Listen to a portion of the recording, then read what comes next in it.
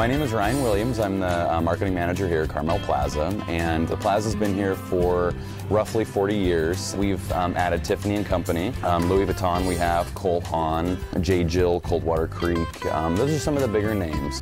Carmel by the Sea as a whole is very dog friendly, and um, Carmel Plaza is the um, focal point of the dog friendliness. We incorporated a fountain of woof about three years ago, which is a constantly running fountain for the dogs that they can come to Carmel Plaza at any time and get fresh drinking water.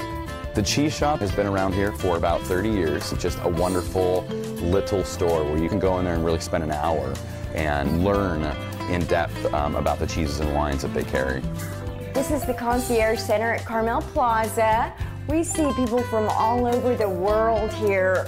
One of the most popular things to do now is for the girls to take a getaway weekend together, and we've got some fantastic lodgings that are just right for the girls to get away from the kids and the dads for a couple of days. We also have a wonderful store here at the plaza called Cos Bar where they can set up to go in and have a makeover done. It's a completely complimentary service.